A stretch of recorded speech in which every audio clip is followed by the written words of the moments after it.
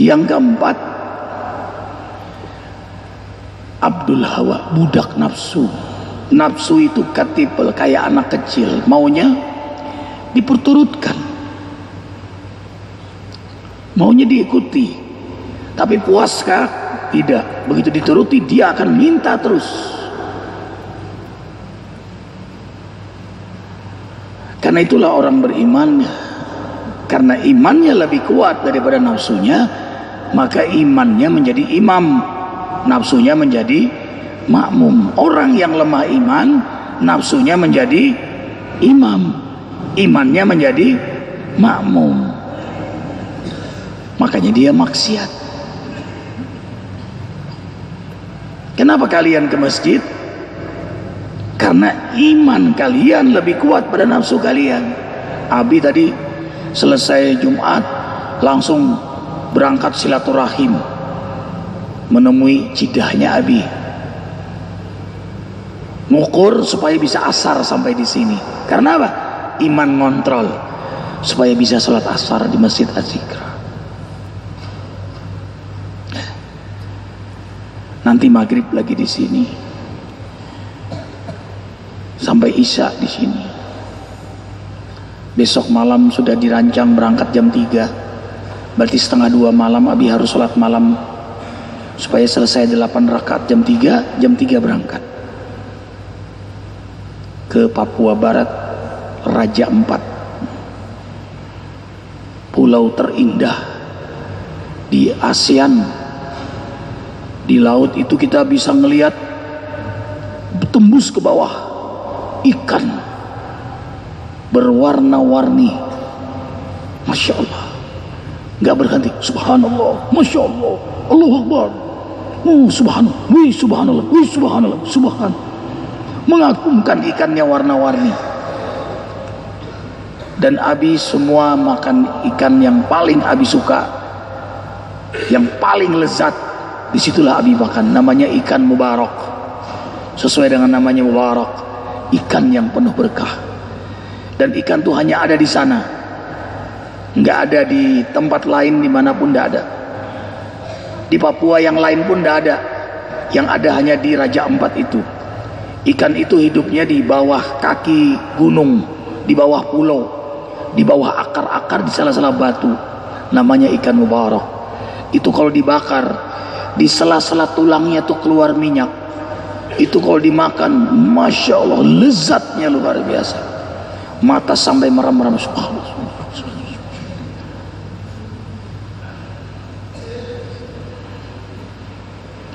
ini undangan yang kedua kalinya oleh Bapak Bupati menyambut tahun baru Islam. Jadi Abi datang kalau daerah-daerah Papua itu nah kita datang disambut. Disambut tarian. Ya begitu pula di Maluku datang disambut tarian. Dan Abi cerita datang ke Maluku disambut tarian. Abi lupa tarian apa namanya. Jadi nyambutnya kalau dulu gadis-gadis jadi sempat Abi protes. Masa kiai disambut gadis-gadis? Ya kan? Oh, jadi gadis-gadis yang tercantik putri-putri tercantik di wilayah itu misalnya di Raja Hitu. Itu nyambut gadis-gadis yang di kerajaan itu mereka menari di depan kita. Lah kan ustadz kiai masa disambut? Ayo subhanallah astagfirullah astagfirullah. Abi sampaikan hanya diganti. Alhamdulillah nak di raja itu yang nyambut bukan lagi gadis-gadis. Emak-emak. Yang umurnya sekitar 60-an dan yang dipilih emak-emak yang ukurannya sama yang bobotnya antara 80 sampai 100 Abi masih punya rekamannya. Itu emak-emak sambil pegang selampe nyambut begini muter-muter dia. Lama-lamanya kita dipantatin semuanya sama dia. Salah lagi ini.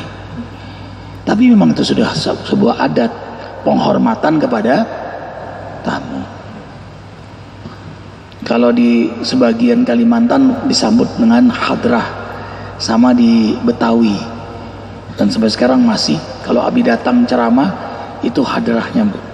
Tola badru alaina. Insyaallah. Senang. Anak-anakku sayang. Kembali bahasan kita tadi nafsu. Nafsu itu ada tiga. Ada nafsu ammarah. Yang kedua ada nafsu lawamah. Ada nafsu mutmainnah. Apa sayang? Ammarah. Lawamah. Mutmainnah. Ammarah. Ammaratun. Lawamatun. Mutmainnatun. Ammarah itu nafsu yang berbuat maksiat Berbuat zolim Kemarin pembunuhan sadis Istrinya dibunuh dalam keadaan pakai mau kena Lalu suaminya jamaah Azikra Ayahanda Haji Husni Hamba Allah yang sangat dermawan Itu pulang dari masjid dibunuhnya jadi istrinya masih pakaian mau kena dibunuh. Beliau pun masih dalam pakaian sholat dibunuh. Insya Allah syahid.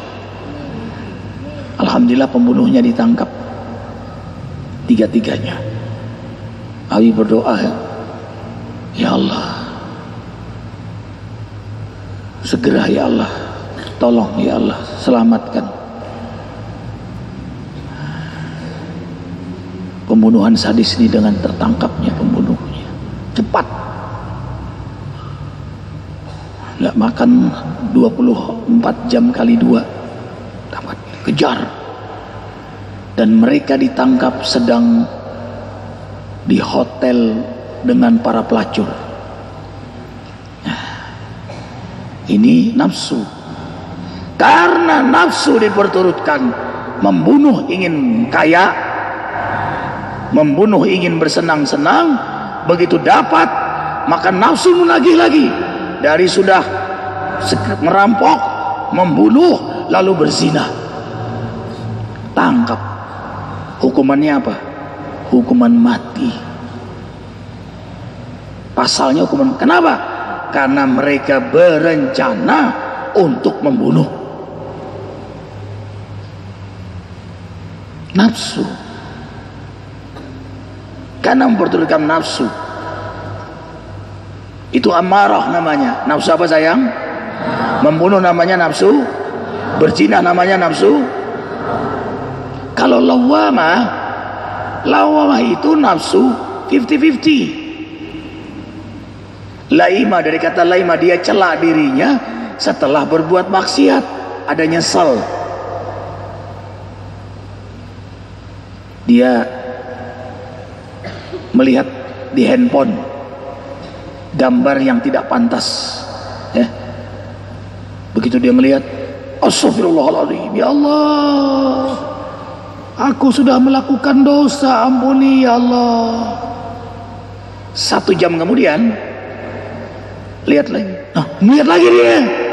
Nah itulah waktu ya. Dia nyesel ngelihat lagi. Nyesel lagi ngelihat lagi. Nyesel lagi melihat lagi. Berulang-ulang nyesel. Lawamah namanya. Masih belum kuat imannya. Sholat ngambil sendal. Ada tuh sholat pulang sendal siapa aja dia pakai sama dia eh? karena mengamalkan nasihat guru ambillah yang baik-baik buanglah yang buruk-buruk begitu jadi yang baik-baik, sendal baik diambil sama dia. Yang buruk-buruk dia buang. Ini ingat Abi waktu di pesantren sayang. Abi ini ya semua santri lah sering kehilangan celana dalam. Sama ya? Oh enggak ya. Jadi kalau dijemur nggak lewat dua jam tiga jam begitu mulai kering hilang akhirnya hampir semua santri punya rantai dan gembok untuk menjemur celana dalam pakai nama nggak mempan Abi punya celana dalam putih namanya Ipin. Hilang. Hilang. Delapan celana dalam celana dalam hilang. Nggak mungkin dong kita memeriksa teman-teman. Eh periksa periksa dulu. Nggak mungkin. Tapi hehe aneh ya bang ya. Kok bisa betah ya? Sedih habis saya ah ini kita pakai gembok rantai. Di rantai digembok dijemur. Alhamdulillah nggak hilang aman.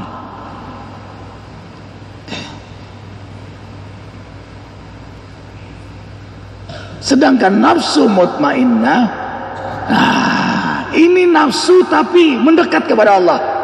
Bernafsu bernafsu tapi bernafsu taat. Seperti kalian bernafsu menghafal Quran. Tadi lihat anak kita Alvin Hanafi Syafi'i sebentar lagi akan menyusul teman-teman kan ada yang sudah 20 juz 21 juz ada yang 26 juz. Insya Allah tahun ketiga nanti santri Azikra sampai 100 orang yang hafal 30 juz. Terus. Ya. terus semangat semangat semangat. Senang kan? Itu namanya nafsu mutmainah syafi'i anak santri Azikra pertama yang hafal Quran. Abi tidur di Gunung Sindur. Abi keluar setengah tiga malam tak menuju atas lantai masjid tiga untuk sholat tahajud sendiri. Abi suka sholat tahajud sendiri di atas. Syafi'i sudah bangun. Syafi'i sedang hasik menghafal Quran. Maka pantas kalau dia 30 juz hafal lebih dahulu? Sementara teman-teman yang lain Abi turun jam 4 Syafi'i tertidur. Nih di atas megang Quran dia tertidur. Alifin elus Abi elus kepalanya nak. Dia terbang. Abi terus sayang hafal nak. Kamu jadi ulama besar nanti. Makasih Abi. Dia cium menghafal lagi nih sampai azan subuh. Masya Allah. Begitu terus Abi datang jam 11 malam. Dari luar kota langsung ke Gunung Sindur. Abi dorong kamar. Syafi'i belum tidur. Di atas kasur Quran. Pantas hafal 30 juz. Karena bernafsu untuk menghafal Quran. Manjada manjada strong desires makes miracle. Apa sayang strong desires uh, makes miracle Wah. strong kekuatan ya desire itu kemauan yang kuat kemauan yang kuat makes miracle menciptakan keajaiban lihat hasilnya Alvin ya. Hanafi nanti putra Abi Syuhada Jundullah Jundi. Juga semangatnya. Jadi Abi yakin kalian nanti semuanya akan hafal Al-Quran. Nah bernafsulah. Untuk taat bernafsu salat malam. Jangan tanggung-tanggung tidak dua rakaat. Tapi sampai delapan rakaat. Witir tiga rakaat. Bernafsu rakaat pertama bacanya surah yang panjang-panjang. Itu namanya nafsu mut mutmainnah mutmainnah kayak Abi bernafsu sekali untuk mengajak Pak Fred untuk masuk Islam. Sampai lima tahun. Dekatin terus dekatin terus. Ajarkan Islam dengan akhlak kemuliaan. Terus akhirnya beliau masuk Islam. Nafsu mutmainnah ingin lagi istrinya yang tadinya muslimat pindah agama ikut katolik beliau. Abi bernafsu agar beliau kembali ke Islam. Alhamdulillah. Karena terus dihampiri didakwahi dengan akhlak beliau kembali ke Islam. Nafsu mutmainnah. Nafsu kebaikan di jalan Allah. Kita saksikan setiap bulan. Ribuan datang dari berbagai daerah. Aceh, Medan, Batam, Kalimantan. Zikir di masjid kita tadi ada nenek-nenek minta izin pakai kursi roda nanti sudah datang 1 Oktober saya datang Pak Ustaz mantan pangkostrat tadi ketemu Abi siap Pak Ustadz, eh, ayah di sini? Iya Ustadz, sejak pensiun ayah sekarang dagang kecil-kecilan. Zikir tanggal berapa? Ustadz, 1 Oktober, siap, saya datang. Gitu. Kemarin ketemu lagi, Pantamal, ya, Jenderal Bambang. Pak Ustadz, saya ikut umroh sama Ustadz nanti Desember bersama istri saya. Kemarin nemuin Abi makan siang, sengaja datang untuk menemui Abi. Alhamdulillah. Beliau komandan uh, laut ujung timur Indonesia di Merauke kemarin yang Abi datang ke sana. Dan beliau itu jenderal yang sangat soleh, lima waktu berjamaah di masjid. Kemarin Abi makan sama beliau, Pak Ustadz, ini restoran yang dekat masjid di mana? Jadi nah, nah, carinya area masjidnya bang. Yang bilang tidak jauh ayah dari restoran itu ada masjid besar. Kita sholat di sana. Begitu saya sholat, Abi ceramah, yang membangun masjid itu Haji Yahman ada di situ. Haji Yahman ini pengusaha terkaya di Depok yang hobinya membangun masjid. Beliau istri satu. Bukan tidak takut, beliau orang beriman, sangat takut hanya pada Allah. Masalahnya istrinya lebih menakutkan. Nah, itu. Jadi beliau masjid. Masjidnya besar. Abi Kultum ceramah, Abi kenalkan makan bareng sama jenderal itu. Kita bertiga makan bersama keluarga Abi. Nah, itu namanya nafsu mutmainnah. Menyengaja jauh-jauh niatnya datang. Padahal dia ada acara besok di Bandung, mampir dulu mengejar ingin ketemu Abi, ingin bertemu dengan Abi. Silaturahim itu nafsu mutmainnah. Jamaah datang dari Kalimantan untuk zikir, namanya nafsu. Enggak sedikit biaya dikeluarkan. Apalagi kemarin dari Palembang, satu pesawat jamaah Palembang datang untuk zikir. Berapa biayanya? Bolak-balik naik pesawat, baru sampai ke sini, macet, keluarnya macet lagi. Bersyukurlah kalian, bersyukurlah kita semua jadi warga azikra menikmati hidangan mutmainnah. Kenapa orang berbondong-bondong datang? Karena ingin merasakan satu jam duduk dalam zikir itu. Ala bidzikrillahi tatmainnul untuk merasakan ketenangan. Coba tanyakan semua. Coba tanyakan. Kenapa kalian mau zikir? Ibu, kenapa ibu jauh-jauh mau zikir? Bapak, bapak udah sakit. Kenapa bapak mau zikir? Tanyakan orang Batam, tanyakan orang Kalimantan, tanyakan orang Aceh, tanyakan orang Singapura yang datang ke sini. Jawabannya sama apa? Tenang, damai hati saya.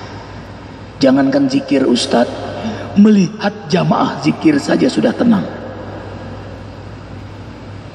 Allahu Akbar. Mudah-mudahan Allah jadikan nafsu kita nafsu mutmainnah. Abi pamit jangan lupa ya nak doakan Abi sekali lagi besok jam 3 malam Abi berangkat ke Papua tiga hari. Ini bukan perjalanan sebentar dan doakan Abi sehat walafiat bersama semua rombongan kembali selamat berkah dunia akhirat Abi selamat kalian semua selamat Subhanakallah bihamdika Asyhadu an la ilaha illa anta astaghfiruka wa atubu ilaik. Wabillahi taufiq wal hidayah. Assalamualaikum warahmatullahi wabarakatuh.